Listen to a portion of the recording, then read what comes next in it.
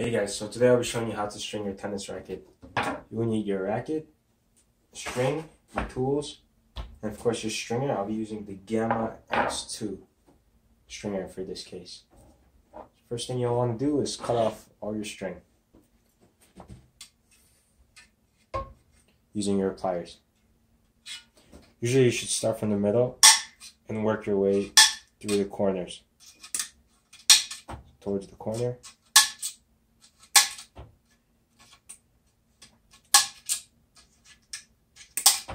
Start working towards this corner.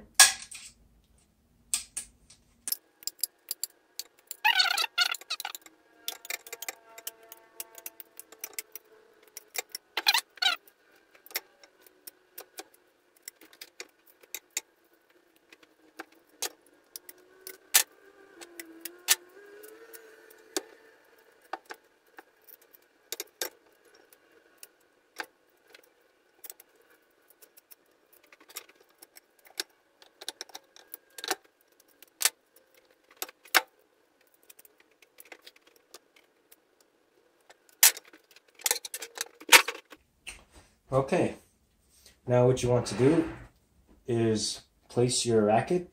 First of all, you can adjust. You can adjust the movement of this so it should, using this tool, uh, right here. So you can move this back and forth. Mine is already adjusted, so I'm not going to do that. But after you do that, you place your racket perfectly.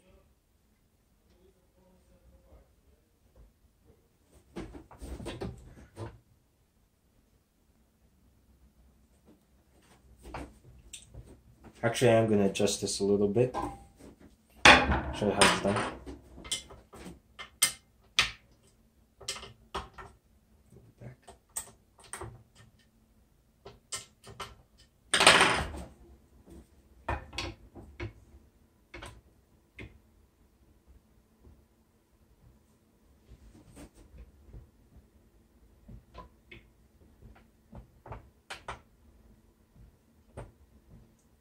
Okay, next, make sure it's perfectly in the center. Most rackets indicate that it's in the center. They usually have this kind of line. Uh, and you can tell if there's three here or four, you can see four rings, so obviously it'll be right in the middle, right there. So you want to place it perfectly centered.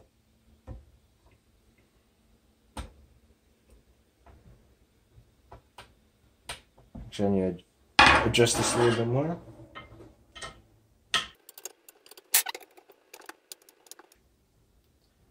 Make sure it's perfectly centered and use these tools put it on the racket and screw these on. All of this should come with your stringer. All the tools you would need.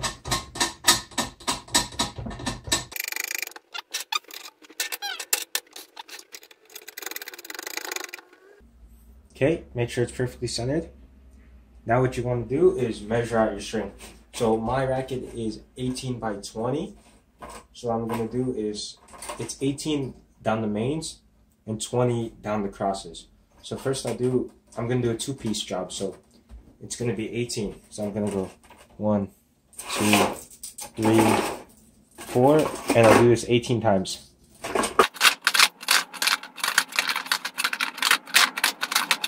And usually one more for good measure. Okay. Cut off your string.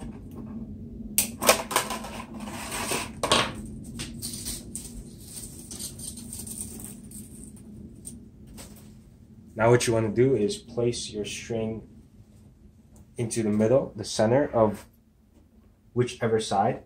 So in this case, you have four of these, meaning you'll place the string on the top. If you have three of these things, you'll place your string on the bottom. So you start from the top.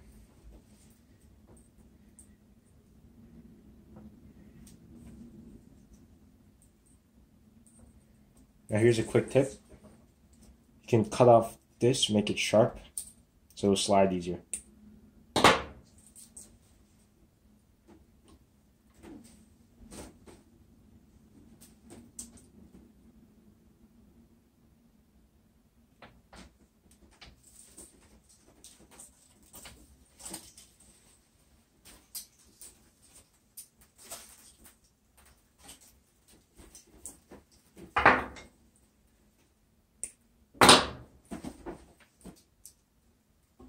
Okay. So you went down the middle and you want to hit this middle now. Bottom middle.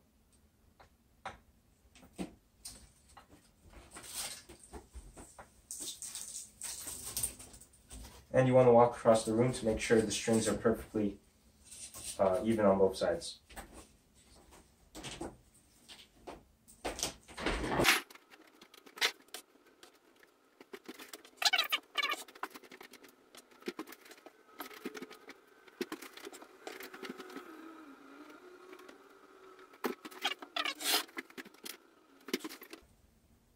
Okay. Now you have these things which are called clamps. And you want to place your first clamp near the bottom at the beginning. So you place your clamp right here. It should be hard to squeeze it, but not so hard that you gotta go.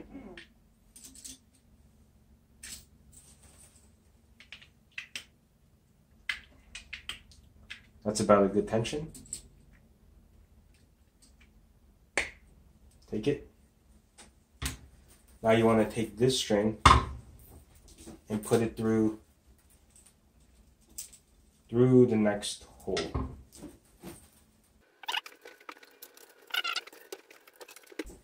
Should look like this. I don't know if you can see that. And then put it through this hole. The next one.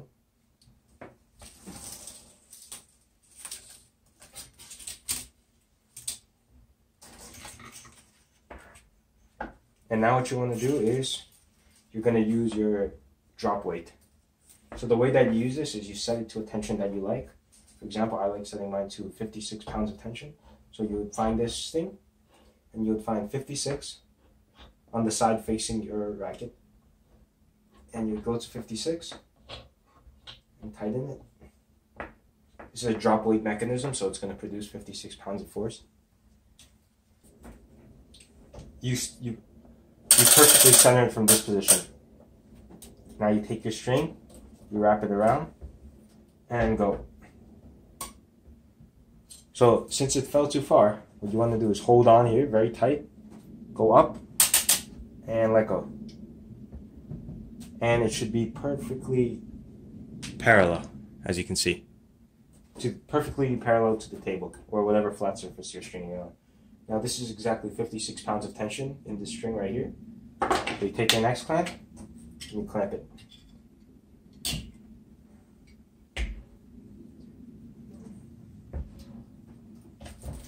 And now you keep doing this all the way down, and then you do this side all the way down. So you just keep changing.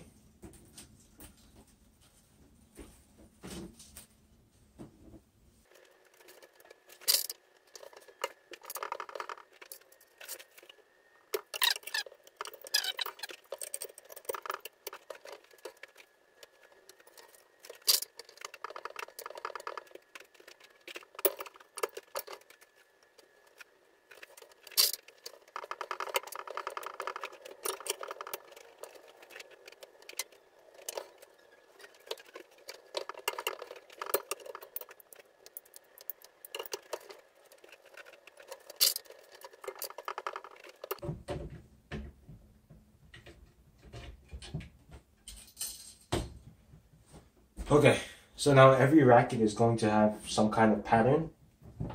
Mine, you stay in this one and you skip that one. And usually it should indicate, there's little dots here that indicate that these are mains.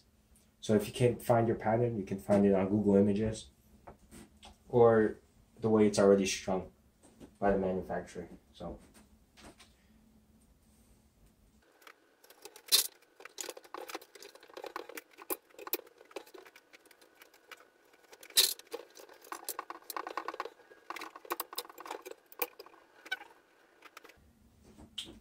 Okay, so this side is finished.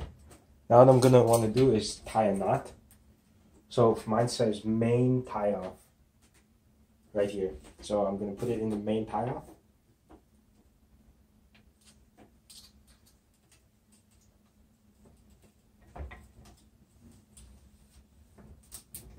I'm gonna loop around that string, loop around, go under that same string and go through the loop I just made.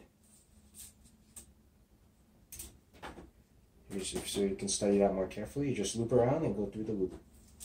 And then you pull.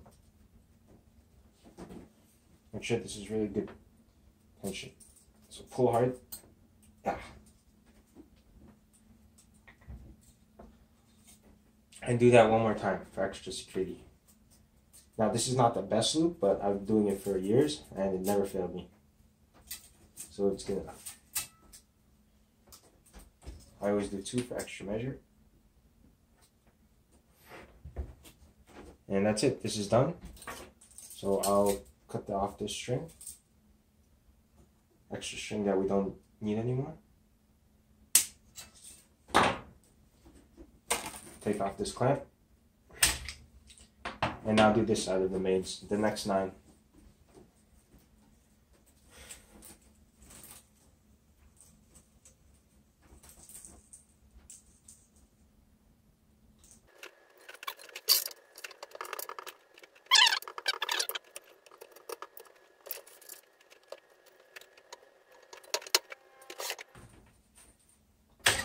Okay, mains are done. Now we're going to move on to crosses. So to do the crosses, you do the same thing initially with what you do with the mains, but you do it 20. Most rackets now are 16 by 19, so you would do 19 in your case. I usually do one for good measure, so I'm going to do 21 times. One, two, three, four.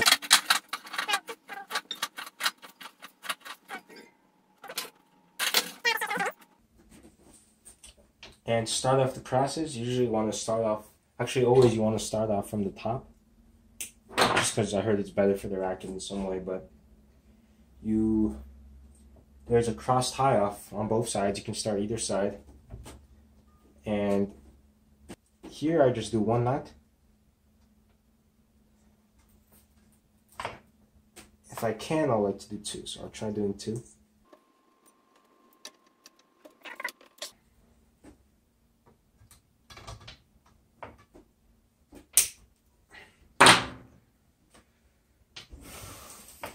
Okay. So now you do the same thing for your crosses, but here's how you do it. Again, make the edge sharp.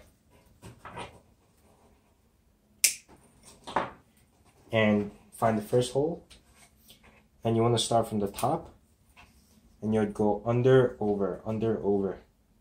So under, over, under, over, under, over.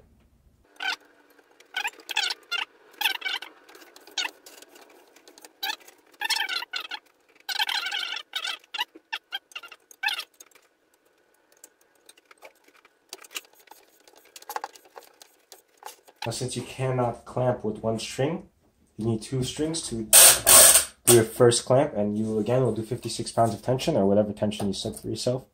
Same thing. Make sure it's perfectly parallel. Okay. And you would just need one clamp for the crosses. So clamp your first two.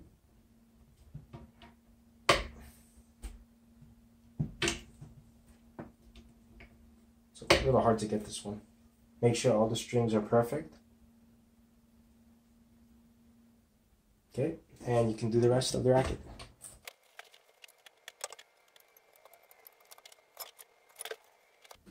Okay, that's it. Clamp. And tie off the last piece where it says cross is tie off or wherever indicated on your specific racket.